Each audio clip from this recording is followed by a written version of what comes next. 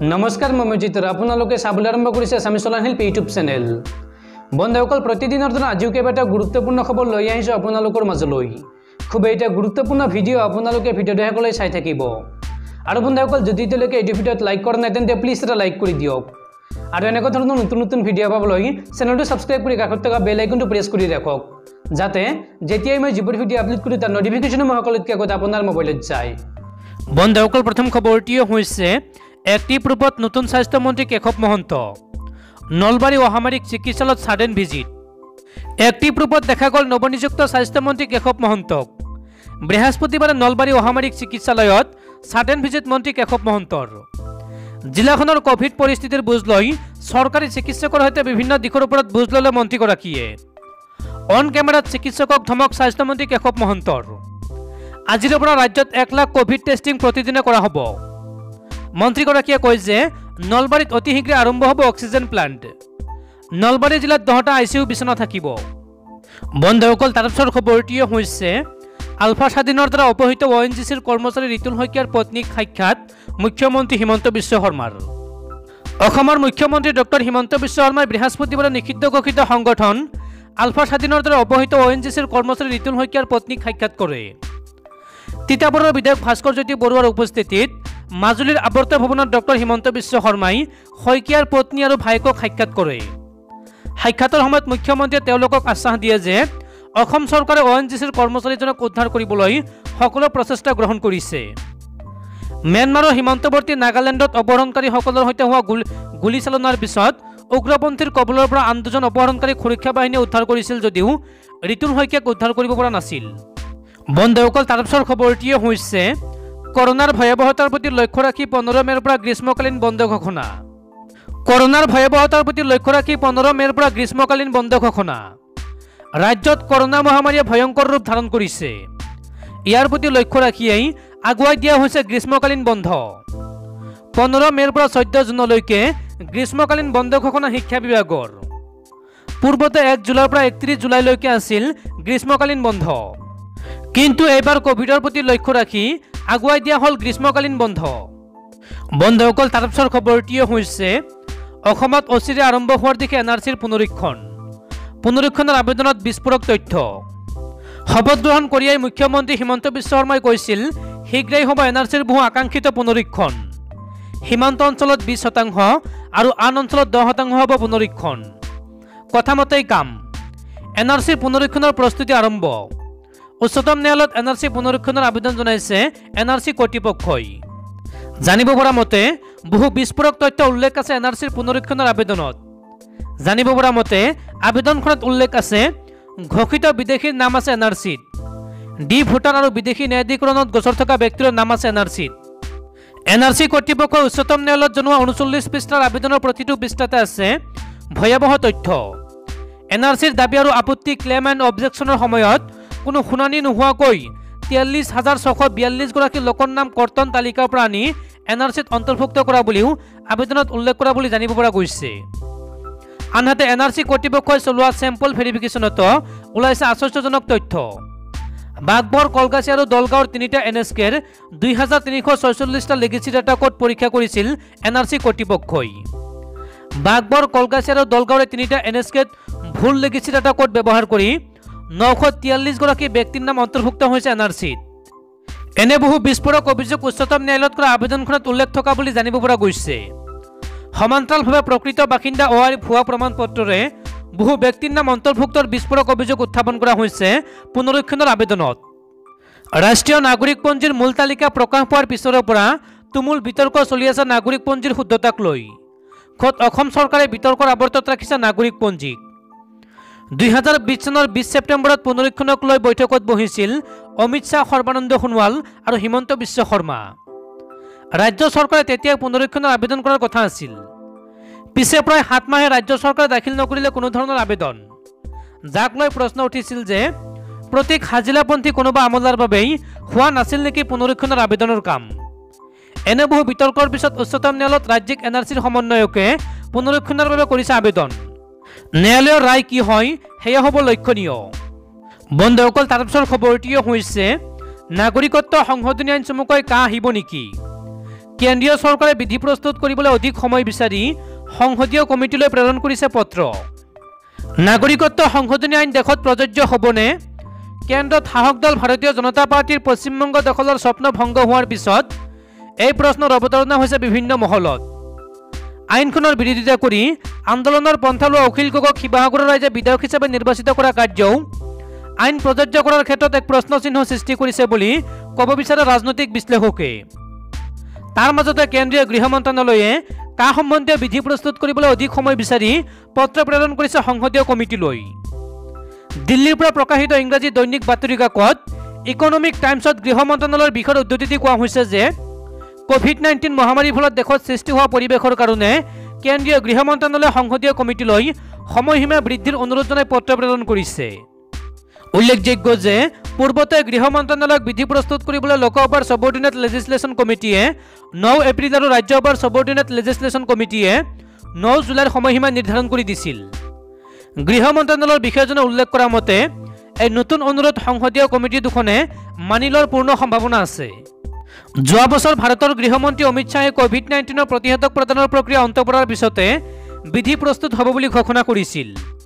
এই বছৰ পশ্চিমবংগৰ বিধানসভা নিৰ্বাচনী প্ৰচাৰত গৃহমন্ত্ৰীগৰাকীয়ে বিজেপি শাসনলৈ আহিলে প্ৰথমখন কেবিনেট বৈঠকতে কা কাৰ্যকৰী কৰাৰ সন্দৰ্ভত সিদ্ধান্ত ল'ব বুলি মন্তব্য কৰিছিল।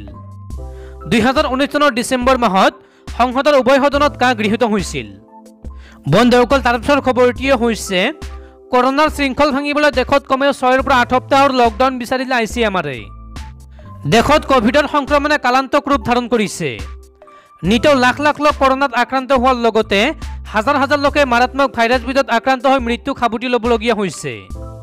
এনে পৰিস্থিতিত দেশত সম্পূৰ্ণ লকডাউন ঘোষণা কৰিলেহে কৰোণা ভাইৰাছৰ সংক্ৰমণৰ শৃংখল ভাঙিব পৰা যাব বুলি বিভিন্ন মহলে প্ৰকাশ কৰি আহিছে।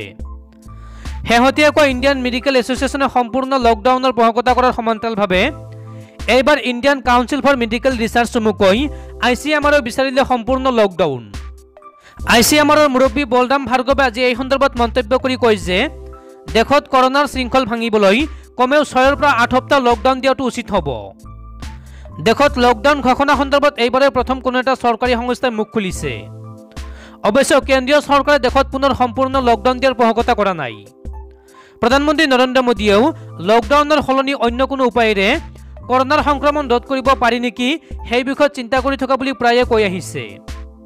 আই চি এমৰ মুৰব্বী বলৰাম ভাৰ্গৱে এই বুলি কৈছে যে যিবোৰ অঞ্চলত কৰোণাৰ পজিটিভিটিৰ হাৰ দহ শতাংশ হৈছে তেনে স্থানত অতি বিলম্বে লকডাউন ঘোষণা কৰিব লাগে।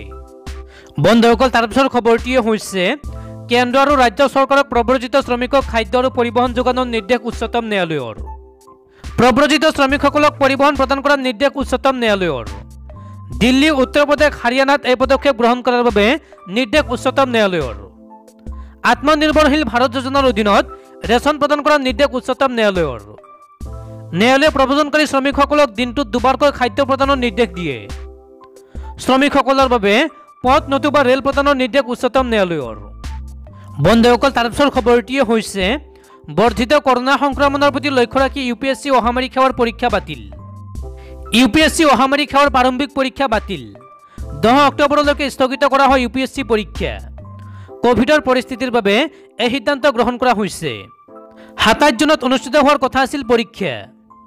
বন্ধুসকল তাৰপিছৰ খবৰটিয়ে হৈছে ভূ বিজ্ঞান মন্ত্ৰণালয়ৰ আগজাননী। অসমকে ধৰি বিভিন্ন ৰাজ্যত আগন্তুক দুই তিনিদিন ধৰি হ'ব বৰষুণ।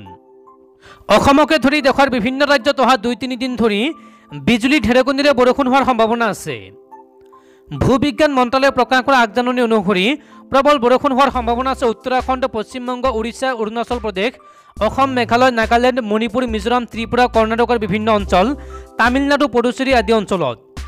মন্ত্ৰালয়ৰ বিবৃতিত প্ৰকাশ পোৱা মতে বৰষুণ বিজ- বিজুলী ঢেৰেকনিৰে ব্ৰজপাত আদিয়ে পাঞ্জাৱ হাৰিয়ানা চণ্ডীগড় দিল্লী জম্মু কাশ্মীৰ লাডাখ হিমাচল প্ৰদেশ তেলেংগানা আদি ৰাজ্যত প্ৰচণ্ড প্ৰভাৱ পেলাব পাৰে।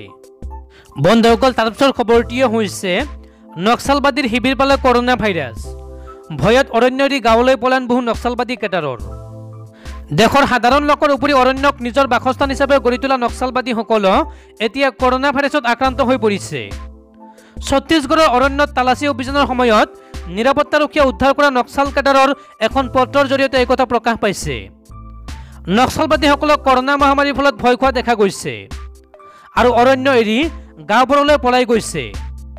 শেহতীয়াকৈ কেইবাজনো নক্সালবাদী কৰোণাৰ দ্বাৰা সংক্ৰমিত হোৱাৰ খবৰ পোৱা গৈছে আৰু বহুতৰ মৃত্যু হৈছে। ইয়াৰ উপৰিও কেইবাজনৰ শীৰ্ষ নক্সাল কামাণ্ডাৰ কৰোণাৰ দ্বাৰা সংক্ৰমিত হোৱা বুলি উল্লেখ কৰা হৈছে। নক্সাল কেডাৰে লিখা এই পত্ৰখনত মহিলা নক্সাল কামাণ্ডাৰ যাক তেওঁ কমৰেড দিদি বুলি সম্বোধন কৰি লিখিছে। দুদিন আগতে যে দাদাৰ সৈতে কথা পাতিছিল। দাদাই উল্লেখ কৰিছিল যে দক্ষিণ বস্তাৰ দৰবাৰ আৰু পশ্চিম বস্তাৰ বিভাগত আমাৰ বহু সহকৰ্মীয়ে ৰোগৰ বিৰুদ্ধে যুঁজি আছে। হঠাৎ দক্ষিণ বস্তাৰৰ ৰূপী দৰবাৰ ডিভিজনৰ চেতনা নাট্যমণ্ডলী চমুকৈ চিয়ানামৰ কামাণ্ডাৰ সংজ্ঞা বেটেলিয়নৰ গংগা ক্ষুদ্ৰ মুন্নি আৰু ৰীণাৰ মৃত্যু হোৱা বুলি কোৱা হয়। বিভাগীয় কামাণ্ডাৰ ৰাজেশ দাদা সুৰেশ আৰু মনেশ অতি গুৰুতৰ স্থিতিত আছিল। দাদাই কৈ আছিল যে সকলো ৰোগীয়া লোকক আপোনালোকৰ লোকেশ্যনত চিকিৎসা কৰা হ'ব। কৰোণা ভাইৰাছৰ ভয়ত নক্সালবাদীসকল গাঁৱলৈ ঘূৰি যায়। পত্ৰখনত কোৱা হৈছে যে যিমান দূৰলৈ শুনিছোঁ এই ৰোগবিধ বহুত সোনকালে বিয়পে। আৰু বৃদ্ধ লোকসকল ক্ষতিগ্ৰস্ত হয়। আপুনি নিজকে সুৰক্ষিত ৰাখি কাম কৰক। নিজকে কমৰেড উইজ বুলি বৰ্ণনা কৰা নক্সালবাদীজনে কৰোণাৰ ফলত বিভিন্ন অঞ্চলৰ পৰা নক্সালবাদীৰ পলায়নৰ কথা উল্লেখ কৰে। দাদাই কৈ আছিল যে ছেকশ্যন কামাণ্ডাৰ বুধৰাম আৰু বিমলাই ৰোগটোৰ ভয়ত পলাই গৈছিল। দুজন লোক চি আৰ চি কোম্পানীৰ পৰা পলাই গৈছে।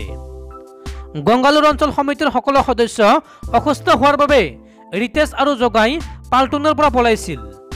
দৰভা ডিভিজনৰ ভিনাগে অনিতাই দল ত্যাগ কৰিছে। ৰূপেশে হঠাতে কণ্টা পাল্টুনৰ পৰা পলাই গৈছিল। গাঁওখনৰ মানুহৰ মাজত ধৰ ধৰা ৰোগটো বিয়পি পৰে। এই মুহূৰ্তত আমাৰ ওচৰত উপলব্ধ ঔষধৰ কোনো প্ৰভাৱ দেখা নাই। নক্সালবাদীৰ পত্ৰখনত স্পষ্টকৈ দেখুওৱা হৈছে যে কৰোণা ভাইৰাছে নক্সালবাদীসকলৰ মাজত এক আলোড়নৰ সৃষ্টি কৰিছে। আৰু তেওঁলোকে চিকিৎসা ৰেখাত অৰণ্য এৰি গাঁৱলৈ পলাই গৈছে। এইটো সন্দেহ কৰা হৈছে যে গাঁৱলৈ পলাই যোৱা নক্সালবাদীসকলৰ কিছুমান যদি কৰোণা ভাইৰাছত আক্ৰান্ত হয় তেনেহ'লে ওচৰৰ গাঁওবোৰ কৰোণাৰ কবলত পৰিব। বন্ধুসকল তাৰপিছৰ খবৰটিয়ে হৈছে আজিৰ পৰা অসমত প্ৰতিদিনে এক লাখ লোকক ক'ভিড ভেকচিন প্ৰদান কৰা হ'ব। এই ঘোষণা স্বাস্থ্যমন্ত্ৰী কেশৱ মহন্তৰ। বৰপেটা মেডিকেল কলেজ হাস্পাতালত উপস্থিত ৰাজ্যৰ স্বাস্থ্যমন্ত্ৰী কেশৱ মহন্ত। আজিৰ পৰা প্ৰতিদিনে অসমত এক লাখ লোকক ক'ভিডৰ ভেকচিন প্ৰদানৰ সিদ্ধান্তৰ কথা ঘোষণা কৰে স্বাস্থ্যমন্ত্ৰী কেশৱ মহন্তই। স্বাস্থ্যমন্ত্ৰীগৰাকী বৰপেটা মেডিকেল কলেজ হাস্পাতালত উপস্থিত হৈ ক'ভিড ৰোগীৰ চিকিৎসা সম্পৰ্কে আলোচনাত মিলিত হয়। বৰপেটা মেডিকেল কলেজৰ অধ্যক্ষ ডাক্তৰ ৰমেন তালুকদাৰ বৰপেটা জিলাৰ ভাৰপ্ৰাপ্ত উপায়ুক্ত তেজপ্ৰসাদ ভূষাল বজালিৰ উপায়ুক্ত মৃগেশ নাৰায়ণ বৰুৱা আৰক্ষী অধীক্ষক ডাক্তৰ ৰবীন কুমাৰ আৰু স্বাস্থ্য বিভাগৰ বিষয়া চিকিৎসকসকলৰ সৈতে ক'ভিড পৰিস্থিতি সন্দৰ্ভত পৰ্যালোচনা বৈঠকত মিলিত হয় স্বাস্থ্যমন্ত্ৰী কেশৱ মহন্ত। আজিৰ পৰা প্ৰতিদিনে অসমত এক লাখ লোকক ক'ভিডৰ ভেকচিন প্ৰদানৰ সিদ্ধান্তৰ কথা ঘোষণা কৰে স্বাস্থ্যমন্ত্ৰী কেশৱ মহন্তই। এই ক্ষেত্ৰত অগ্ৰাধিকাৰৰ ভিত্তিত দ্বিতীয় পালি প্ৰতিষেধক প্ৰদানৰ ক্ষেত্ৰত গুৰুত্ব দিব পাৰে। বৰপেটা মেডিকেল কলেজ হাস্পাতালত পুনৰ আন এটা অক্সিজেন প্লাণ্ট প্ৰতিষ্ঠা কৰা হ'ব বুলিও স্বাস্থ্যমন্ত্ৰীগৰাকীয়ে ঘোষণা কৰে। বন্ধুসকল তাৰপিছৰ খবৰটিয়ে হৈছে নগাঁও জিলাৰ বৰমপুৰত একেলগে বিছটা বনৰীয়া হাতীৰ মৃত্যু। বৃহস্পতিবাৰে নগাঁও জিলাৰ বৰমপুৰৰ তপজ্জুৰি পাহাৰত উদ্ধাৰ হৈছে বিছটাকৈ হাতীৰ মৃতদেহ। ব্ৰজপাতৰ ফলত এই হাতীকেইটাৰ মৃত্যু হোৱা বুলি সন্দেহ প্ৰকাশ কৰিছে বন বিভাগে। ইফালে ব্ৰজপাতৰ ফলত বিছটা বন্য হস্তীৰ কৰুণ মৃত্যুৰ বাতৰি অত্যন্ত দুৰ্ভাগ্যজনক বুলি উল্লেখ কৰে প্ৰাক্তন মুখ্যমন্ত্ৰী সৰ্বানন্দ সোণোৱালে। লগতে প্ৰাক্তন মুখ্যমন্ত্ৰীগৰাকীয়ে বন্যপ্ৰাণীৰে সমৃদ্ধ আমাৰ বাবে এয়া এক বৃহৎ ক্ষতি বুলি কয়।